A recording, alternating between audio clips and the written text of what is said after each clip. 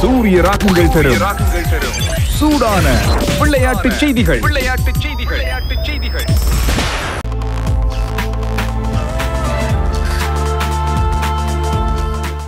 சூரியன் சூப்பர் ஸ்போர்ட்ஸை ஆரம்பிக்கும் போதே உங்களுக்கான முக்கியமான விஷயம் ஒன்றோடு ஆரம்பிக்கலாம். ரிக்கி பாண்டிங் போன்ற ஒரு கொடுத்து கொண்டு வந்த குரல் இப்பொழுது நியாயப்படுத்தப்படுகிறது. ஐசிசியினால் இது ஒரு நல்ல ஒரு ஆரோக்கியமான மாற்றமாக அமையும். நிச்சயமாக நிறைய நடவர்களின் தவறுகள் குறைக்கப்படும் என்று சொல்லி சொல்லப்படுகின்றது. பெண்களுக்கான டுவெண்டி டுவெண்டி உலக கிண்ண போட்டிகள் ஆரம்பிக்க போகின்றன என்று உங்களுக்கு தெரியும். இலங்கை மகளிர் அணியும் புறப்பட்டு போயிருக்கின்றது. இது பற்றிய தகவல் ஒன்று ஐசிசியினால் வெளியிடப்படுகின்றது இந்த மகளிர் உலக டுவெண்டி டுவெண்டி கிண்ணத்தோடு சேர்த்து ஆரம்பிக்க போகின்ற புதிய நடைமுறை ஃப்ரண்ட் ஃபுட் நோபல்ஸ் என்று சொல்லப்படுகின்ற பந்து பந்துவீச்சார்கள் தங்களுடைய பந்துவீச்சு கிரீஸை தாண்டி காலை பதிக்கும் போது வழங்கப்படுகின்ற நோபோல்கள் இனிமேலும் மூன்றாவது நடுவரினால் தொலைக்காட்சி நடுவரினால் அறிவிக்கப்பட்டு மைதானத்தில் நிற்கின்ற நடுவர்களால் அறிவிக்கப்படும் என்று சொல்லி இப்பொழுது சொல்லப்படுகின்றது. அண்மை காலமாக நடந்து வருகின்ற பல்வேறு சம்பவங்களை பொறுத்தவரையில் நிறைய நோபோல்கள் அவ்வாறு வழங்கப்படாமலே இருக்கின்றன. சில இடங்களில் நோபோல்கள் மைதானத்தில் இருக்கின்ற நடுவர்களால் கவனிக்கப்படாமல் இருக்கின்றன போன்ற விடயங்கள் வெளியாகி இருந்தன. மிக முக்கியமான ஒரு சம்பவம் ஒன்று ஆஸ்திரேலியாவிலே வைத்து பாகிஸ்தானின் அண்மையில் நேற்று நேற்று முன்தினம் ஹேட்ரிக்கை வீழ்த்திய நசீம் ஷா பதினாறு வயது நிரம்பிய அந்த வீரர் கைப்பற்றிய முதலாவது விக்கெட்டை நோபோல் காரணமாக பிறகு இல்லாமலாக்கப்பட்டது. எனவே துடுப்பாட்ட வீரர்களுக்கு ஏற்படுகின்ற பாதிப்புகளை குறைத்துக் கொள்ள இப்படியான சம்பவங்கள் உதவும் அந்த காரணத்தால் இந்த நடைமுறையை ஐசிசி கொண்டு வந்திருக்கிறது. வாழ்த்துக்களையும் நன்றிகளையும் ஐசிசிக்கு நாங்கள் சொல்லிக்கொள்வோம். நேற்றைய நாளில் இடம்பெற்ற போட்டிகளுக்கு முதல் இன்றைய நாளில் இப்பொழுது ஆரம்பிக்கிறது மவுண்ட் மேங்கூனியில் இடம்பெறுகின்ற போட்டியில் நியூசிலாந்து அணி நாணய சுழற்சியில் வெற்றி பெற்று முதலில் கள்ளத்தரப்பில் ஈடுபட தீர்மானித்திருக்கிறது. வழமையான அணித்தலைவரான கேன் வில்லியம்சன் மீண்டும் அணிக்குள்ளே திரும்புகின்றார். அதுபோல சுழல் பந்து வீசும் சகல துறவியர் மிச்சல் சாண்டனரும் இன்றைய தினம் நியூசிலாந்து அணிக்குள்ளே திரும்ப டாம் பிளாண்டல் மற்றும் மார்க் சாப்மன் ஆகியோர் இன்றைய தினம் விளையாடவில்லை. நியூசிலாந்து அணி பந்து வீச போகின்றது இந்திய அணியில் மாற்றங்களிலே கடந்த போட்டியில் இந்திய அணி தோற்று போயிருந்தாலும் தொடர் ஏற்கனவே இழந்திருந்தாலும் மூன்றுக்கு பூஜ்ஜியம் என்று தோற்றுவிடக்கூடாது என்ற முனைப்போடு இன்றைய தினம் ஆடுவார்கள் என்று சொல்லி நம்பப்படுகின்றது. பொறுத்திருந்து பார்க்கலாம். ஏற்கனவே முதல் போட்டியில் அரைச்சதம் முதல் போட்டியில் சதம் இரண்டாவது போட்டியில் அரைச்சதம் பெற்ற இந்திய அணியின் அண்மைய துடுப்பாட்ட நட்சத்திரமான ஸ்ரேயா ஐயர் மீது எல்லோருடைய கவனமும் இருக்கின்றது. இந்தியாவின் இளையோர் இப்பொழுது நியூசிலாந்திலே கலக்கி வருகின்றார்கள். நியூசிலாந்து மற்றும் இந்திய ஏ அணிகளுக்கு இடையிலான போட்டி அதை பார்ப்பதற்கு முதல் இலங்கையர் சார்பாக நேற்றைய தினம் விருதுகளை வந்த இரண்டு பேரை பார்த்துவிட்டு போலாம். நேற்றைய தினம் கிரிக்கெட் ஃபோ என்று அழைக்கப்படுகின்ற கிரிக்கெட்டின் பிரபலமான இணையதளம் இந்தியாவிலிருந்து செயற்படுகின்ற அந்த இணையதளம் உலக ரீதியிலான கடந்த இரண்டாயிரத்து பத்தொன்பதுக்கான விருதுகளை அறிவித்தது. இதிலே மிகச்சிறந்த துடுப்பாட்டு வீரருக்கான விருது இல்லாவிட்டால் மிகச்சிறந்த துடுப்பாட்ட பெருவற்றுக்கான விருது இலங்கையின் குசல் ஜெனிபர் டர்பன் டெஸ்ட் போட்டியில் நிகழ்த்திய சாதனைக்காக அவருக்கு கிடைத்திருக்கிறது என்பது கவனிக்கக்கூடியது. பென் ஸ்டோக்ஸை அவர் வீழ்த்தியிருந்தார்.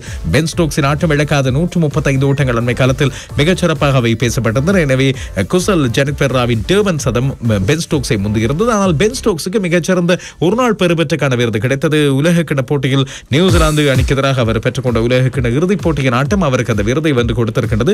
அதுபோல மிகச்சிறந்த தலைமைத்துவத்துக்கான விருது ஆயின் மோனுக்கு கிடைத்திருக்கின்றது. விராட் கோலி மற்றும் கேன் வில்லியம்சன் ஆகிய இரண்டு பேரோடு அவர் போட்டி போட வேண்டியிருந்தது. ஆனால் உலக கிண்ண வெற்றி அண்மை காலமாக ஆயின் மோகன் ஒரு நாள் போட்டிகளில் காட்டி வருகின்ற சாதனைகள் அவருக்கு இந்த விருதை கொண்டு வந்து கொடுத்திருக்கின்றன என்பது கவனிக்கக்கூடியதாக இருக்கின்றது.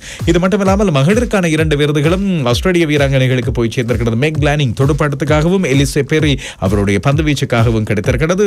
டுவெண்டி டுவெண்டி போட்டிகளில் மிகச்சிறந்த பந்துவீச்சாளருக்கான விருது லாசித் மாலிங்கவுக்கு வழங்கப்பட்டிருக்கிறது. எனவே இலங்கைக்கு இன்னும் ஒரு விருதும் வந்து சேர்ந்திருக்கிறது. மிகச்சிறந்த அறிமுக வீரருக்கான விருது இங்கிலாந்து ஜாஃப்ரா ஆச்சருக்கு கிடைத்திருக்கிறது. இந்த உலக கிண்ணம் தான் அவரை மேலே தூக்கி எழுப்பியது என்பது உங்களுக்கு எல்லாம் தெரியும்.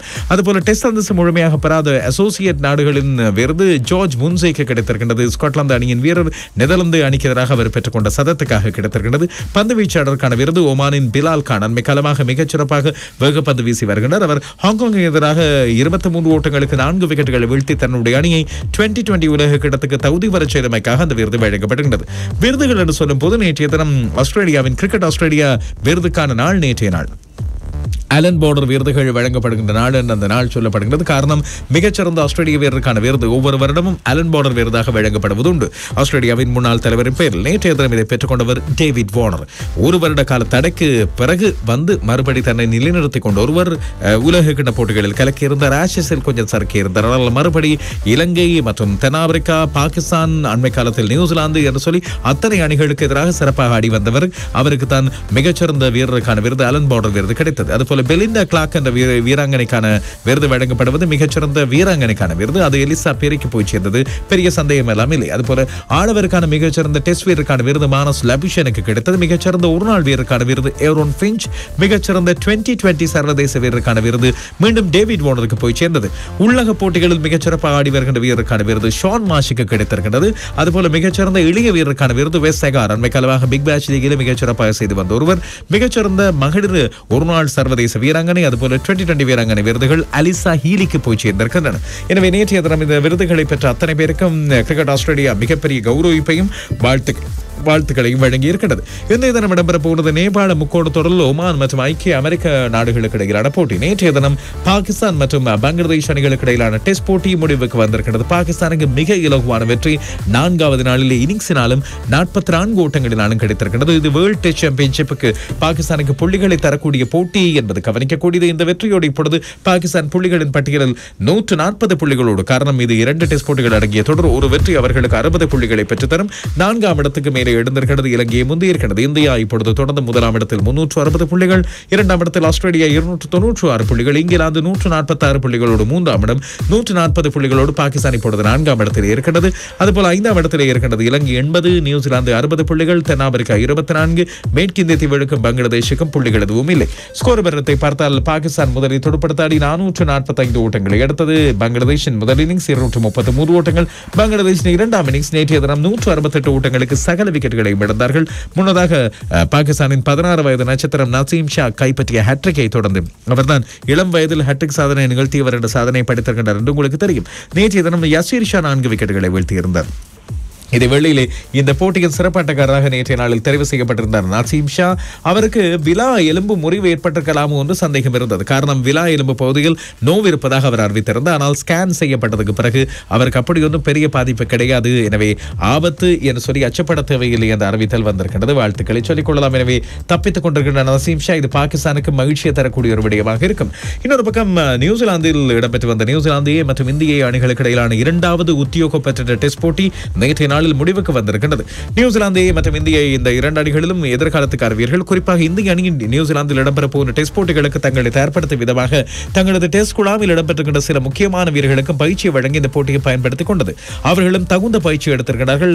இரண்டு அணிகளுமே தலா ஒவ்வொரு இன்னிங்ஸை ஆடி இப்போட்டி மிக துடுப்பாட்ட வீரர்களுக்கு சாதகமான ஒரு போட்டியாக முடிந்து போயிருக்கிறது நியூசிலாந்தை முதலில் துடுப்படுத்தாடி முன்னூற்று எண்பத்தி ஆறு ஓட்டங்கள் ஒன்பது விக்கெட்டுகளை இழந்து டேரல் மிச்சல் சதமடித்தார் ஆட்டம் இழக்காமல் நூற்று மூன்று ஓட்டங்கள் கிளென் பிலிப்ஸ் அறுபத்தைந்து ஓட்டங்களையும் கிளீவர் ஐம்பத்து மூன்று ஓட்டங்களையும் எடுத்திருந்தார்கள். பந்துவீச்சில் இந்திய பந்துவீச்சார்கள் அஸ்வின் அவேஷ்கான் சந்தீப் வாரியர் மற்றும் சிராஜ் ஆகியோர் தலா இரண்டு விக்கெட்டுகள். பாருங்கள் அஸ்வினும் இந்த போட்டியில் இந்திய ஏக்காக விளையாடி இருக்கின்றார். இன்னும் கொஞ்சம் பெயர்களை பாருங்கள் இந்திய ஏ சார்பாக சுப்மன் கில் சதமடித்திருந்தார். நூற்று முப்பத்தாறு ஓட்டங்கள் தொடர்ந்தும் அற்புதமான ஃபார்மில் இருக்கின்றார் இப்பொழுது ரோஹித் சர்மாவுக்கு பதிலாக இவரை அணிக்குள்ளே கொண்டு வரக்கூடிய வாய்ப்பு இருப்பதாக அண்மை காலமாக சொல்லப்பட்டு வந்தது.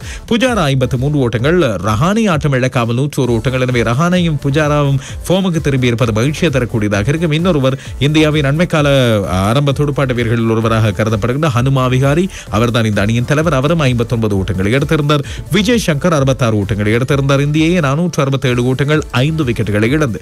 இன்னும் சில முக்கியமான விடயங்களை பார்ப்போமாக இருந்தால் இப்பொழுது மகளிர் டுவெண்டி டுவெண்டி போட்டிகள் உலக கிண்ண போட்டிகள் ஆரம்பிக்கும் நேரத்தில் நியூசிலாந்து மகளிர் அணி தென்னாப்பிரிக்க அணியை நேற்றைய தினம் எழுபது கூட்டங்களால் வீழ்த்தி இருக்கின்றது.